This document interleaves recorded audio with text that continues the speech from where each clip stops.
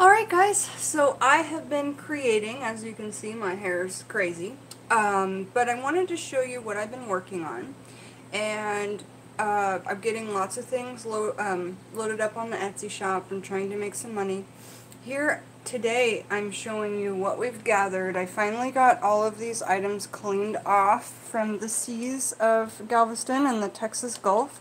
So as you can see down here on the table, I've got some bones from the crucifix fish, which are looking great once they're all clean and dried. And um, these are actually their like spinal vertebrae columns. So I've got a bunch of those, which you could make some really beautiful. Um, if it was me, I mean, I would make some beautiful dainty earrings if I knew how to make earrings, but I don't. But I'm sure that none of, some of you do know how to do those things. Um, just some really, really great pieces here. So I'm going to be selling this whole lot together on my Etsy shop. We've got about 13 different vertebrae bones here. Um, a lot of little shells and um, these are some of my favorites, these barnacles that are like a bright pink purple. Um, I've got a hold stone here for you that came right out of the uh, Gulf of Mexico. Um, so there's one or two different holes in here, and there's also some coral growing around it. Um, so this is all coming together as either like a sea witch bone throwing kit, or just stuff for you to grind up and work with in your witchcraft workings. A lot of these can be made into necklaces as there's natural holes in the stones, etc. Um, some gorgeous, gorgeous, looks like a type of scallop shell. Um, some types of bony shells I haven't really seen before. I love doing workings in a seashell that's still connected, um, doing working right inside and perhaps burying it or something. I've got these lovely black or gray oyster shells that have just been washed by the sea. Um, a couple of bones that I found on the beach, so some actual bones for your bone throwing kit here. It's a Sea Witch bone throwing kit. This is a great bone. And it's got a hole in it so you could easily make it into a piece of jewelry. Um, some white rock that I found on the beach, some brown rock that I found on the beach. Um, more and more of these beautiful barnacles here. They're so great. Um, even a feather that I found in the sea. Um, here is an oyster shell that's also got like a hole in it, so possibly you could do some fairy scrying because it's kind of like a hold stone there. Um, lots of different pieces. I love, love, love these black gray seashells that I found on the beach. So let me show you now um, what I've been creating. Here you can see, and this will be a different Etsy order, but I've got a bunch of necklaces on my mannequin, okay? Now I'm going to actually try them all on and show them to you and tell you what they'll be good for. I like the barnacles too, Heather. Aren't they great? They're so pretty and purple and pinky. So you know, it took me a long time to soak them and wash them and get them to where we're going to have them be an okay thing. Now, I took a lot of time on these, but more than time, I put thought into them. My jewelry looks rustic. I'm not a jewelry maker, but I do put a lot of intent into why we might want to carry this around. So, I make my necklaces extra long so that you can put them over your head. A man or a woman, or even a woman with giant hair, like me. Um, so here's this piece.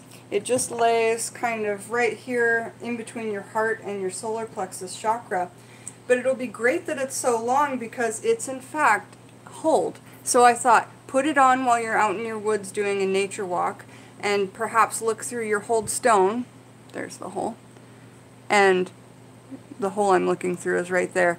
And try and look for your fairies or your through the veil of the realm, right? So I thought it'd be cool to just have this on your neck and if you felt maybe your spirit guide's talking to you or some tingles or you thought you saw an orb, just start looking through your hold stone that's right there on your neck. Now this is actually an oyster shell that I saw that ended up being like had a bunch of holes worked into it through nature. So that's the first piece I have. Um, you know, they're, they're statement pieces, they're bulky, they they're not normal. They're not usual. Okay, the jewelry that I make definitely isn't usual. Hi again! Metalhead Goth, nice to see you. I'm just showing you guys what I've been doing. Yes, these are on organic hemp cord. And we could talk about the properties of hemp as well, because, uh, but both both of these are on, all of these are on organic hemp cord. That's what I do my necklace on. This one's dyed black. I like the black hemp cord. Um, so there's that one. Let's set it aside now that we've tried it on. This one is the only mixed media piece that I've done. And uh, this is on just some regular colored hemp cord. And it's two different shells that I've attached to this bone. And I found all these things on the sea. Here's the back of the necklace in case you were wondering what it looks like. Um, and when we put it on, put it on this way. Again, I make them big enough so they can just go over the head. I've added some knot magic in for the intention of, you know, going out and finding magical things. So I've added in some knot magic, and this lays here, um, again on the belly, kind of above the solar plexus and under the heart. And it's got the, the two shells, and then this big old bone.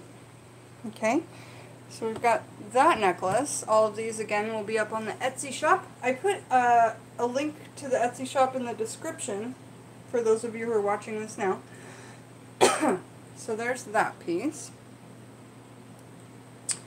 Um, we've got this piece here, which is a broken, part of this broken shell.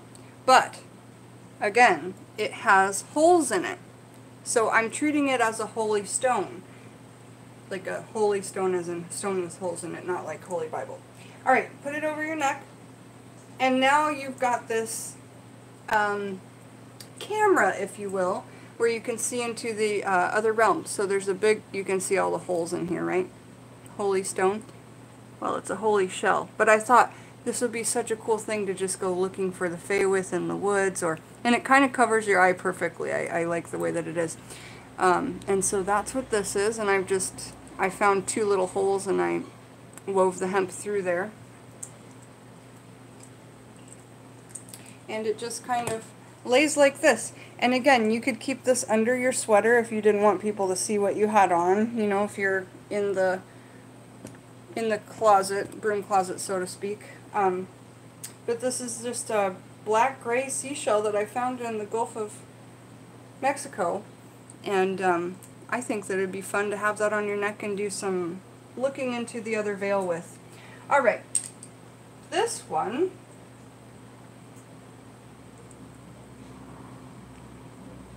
very, very hold as well, just so much wear from the water. And uh, it's more of just a statement piece or to have the shell energies, but I mean, you could definitely go looking through the holes in this one as well. But I didn't make it as a scry piece, just as a big, big old chunky, um, and this one you can actually see into the shell a bit from this angle. And I just really like it. I really like rustic stuff. I really like um, things where nature has naturally made holes into them. I'm a big fan of that sort of thing. So, again, everything on the table will come in a big, um, like a sea witch bone throwing kit, and that's what we've got down here on the table. Everything's clean. There's two actual big chunky bones that I found, and then lots of little vertebrae from the um, crucifix fish. And lots of shells you could make into necklaces. Also a big chunk of sea brick. That brick I found in the sea. Well, in the, in the ocean. In the Gulf. Okay, so next we've got...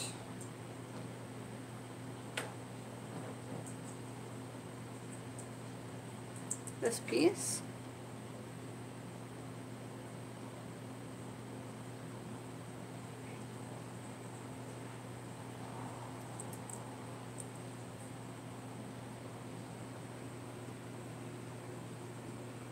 Okay.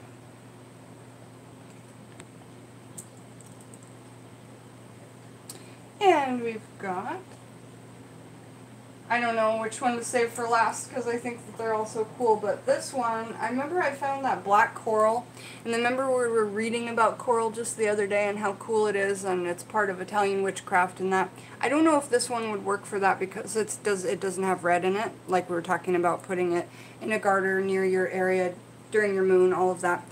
But I thought it would look beautiful on a necklace and it actually had a hole in it. So I just went right through the hole. and um, this might be one of my favorite pieces. Just to wear that coral right there and it's just so cool.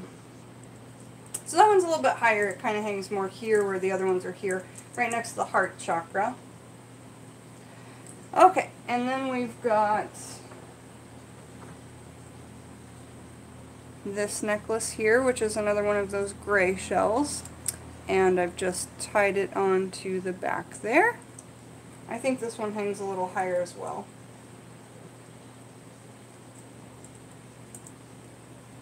But uh, right after this, we're going to read about the properties of hemp and why that might be nice to have on your necklaces in the magical world. Okay, so this last one I really adore. I think that's why I left it there. Um, this is another hold stone shell. Um, it's a an, one of these gray oyster shells that have just been through the water so much that it's just full of stones. And um, I like where it hangs, you know, right here, um, kind of right above the solar plexus. But again, this is for if you want to go out and hunt for fairies. Um, you put your, here's the back of it Here's the front. And I even wove this hemp through one of the little tiny holes, holes in the stones. As you can see, there's so many holes in here. There's loads and loads of little holes. And you'd be surprised, even the tiniest hole you can look through and you can get a good picture. But this one's got lots of big holes in it and I love big chunky statement pieces. Um, so again, putting this on so that you can see through the veil uh, maybe go fairy hunting, etc. And, uh, and, and you just do this. You know, it's long enough to where you can put it over your head without having a clasp, okay? And then also to where you can hold it up to your eye and look through these little, there's the hole, you can see it now. There's a bunch of little holes all through this stone, so you can just go ahead and look through all those little holes. I think this is super great and super fun. So there is a link to my Etsy shop in the description. Um, it's my herb listing, and right after I get off the video with you guys, I'm going to list all of these necklaces that I've created. But let's talk about hemp really quick and its uh, magical qualities. So, Scott Cunningham's Encyclopedia of Magical Herbs. I'm going to tip you guys down just to kind of look at the table while I'm talking see all these things that are available in the kit. Is there a cat behind me? No, a pair of scissors. Okay, hemp.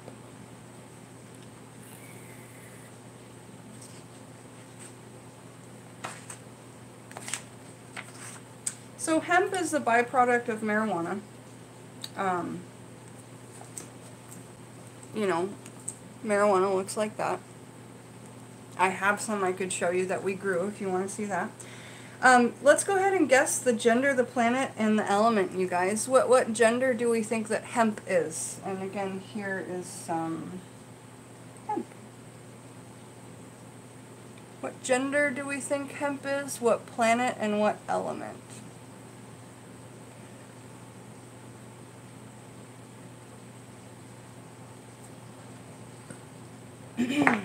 Get some guesses in for that, and uh,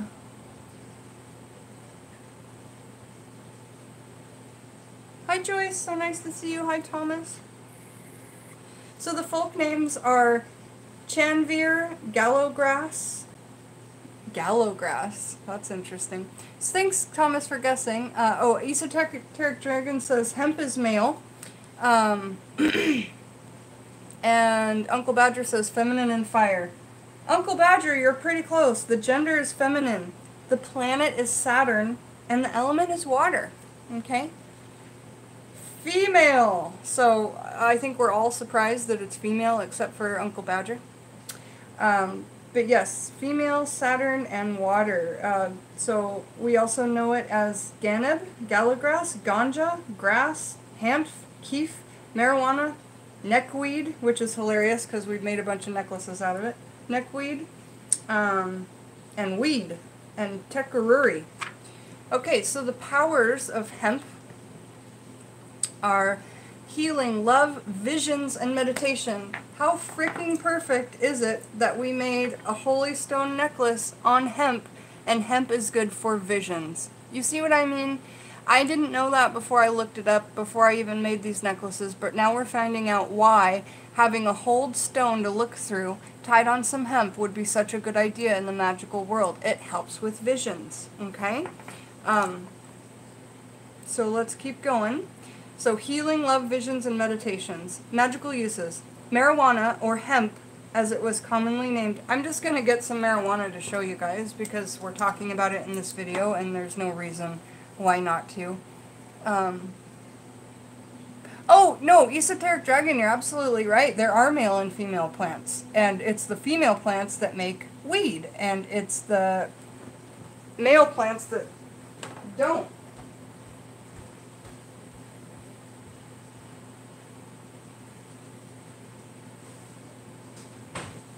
So we grow loads and loads and loads of it. It's actually what got Alex into gardening initially was because we wanted to grow our own. Um, but let's see, here is a piece from last year. This variety is called the Obama Kush. It smells really good if you want to smell it. But uh, yeah, it's got a little bit of color in there and um, that is marijuana. And then, but this video right now right here, we're talking about hemp, okay? Now here's some lovely stuff that we grew and it's crazy purple.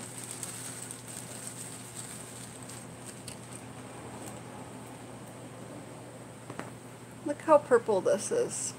It's just uber lovely. I wish I was able to show you a little bit better. I hope it doesn't look brown because it's not. It's like blackish purple. And that is a variety of some purple kush. Actually, I believe that one is a uh, lavender kush, if I'm not mistaken. I could be mistaken, though. So that is marijuana that we grew here.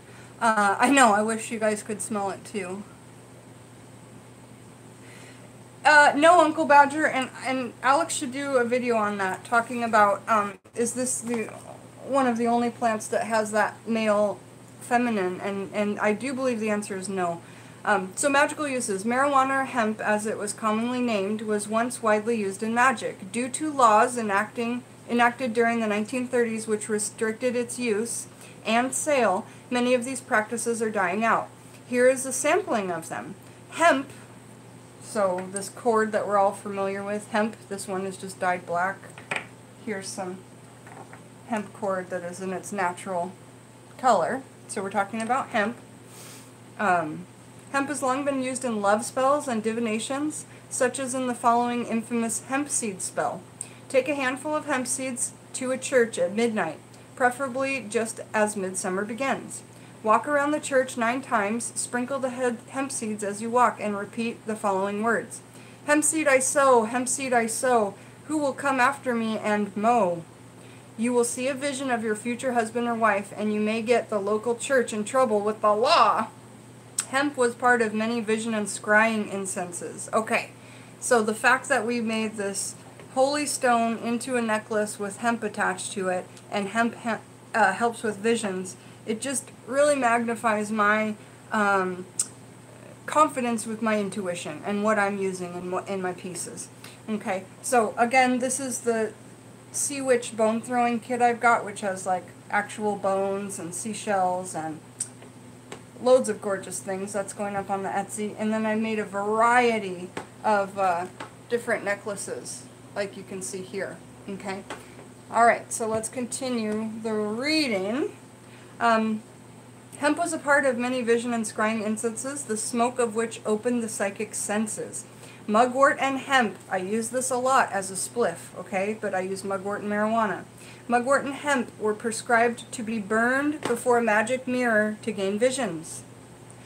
It was also added to meditation incenses. Scourges made of hemp were used in China as imitation snakes, which were eat, which were beaten against beds of the sick to drive out the malicious illness-causing demons. So, I think that that's absolutely divine. What we just read and why, you know, these things just kind of fall into place. I put this hold stone on a necklace so that it would be long enough that you could lift it up from your neck where it's still on and look through these hold stones to do a form of scrying or looking through the veil or looking for the fae. Hey Hermit's Cave, how are you? So nice to see you. Um, we were just talking about the magical properties of hemp and I put some shells and stones that are holy onto some hemp. Hemp helps induce visions. And so I thought it would be great to have that right on this uh, necklace so you could just lift it up off your neck and look through the hold stone. So, um, so glad to have you here, Hermit's Cave. Everybody is excited to come to the 24-hour Tarathon. We're all really excited, and um, yeah, couldn't be more excited. So, thank you for joining us. And uh, I think, guys, I think as soon as my gardener's done outside, I don't actually have a gardener, but Alex has paid somebody to, to do the outside gardening while he's away. As soon as the gardener's gone, we're going to go out and pick some fresh mugwort because it is already on my bush. It's looking so good right now. And uh, the sun is about to move where the sun is hitting it, and that's when I like to harvest it, when the sun is going to be hitting it. Yeah, absolutely. So, just so many fun things that we found from the sea. Uh, I think these crucifix fish bones were some of my favorite little things that, you know, that we collected and uh, they're just great. Um, they may break if you throw them, but I think that they would make splendid little earrings. You know how I love my taxidermy. Um, yeah, so this is what we've got for that Sea Witch bone throwing kit. Take one more look, and then I'm going to get all these things listed on the Etsy shop. And we will look forward to coming back soon and harvesting mugwort out of my garden. Okay, you guys, have a super beautiful and fantastic day. And Simon, thanks for stopping by. We look forward to 24 hour mm-hmm. Tarathon, and we'll see you there. Have a beautiful day, you guys. See you soon.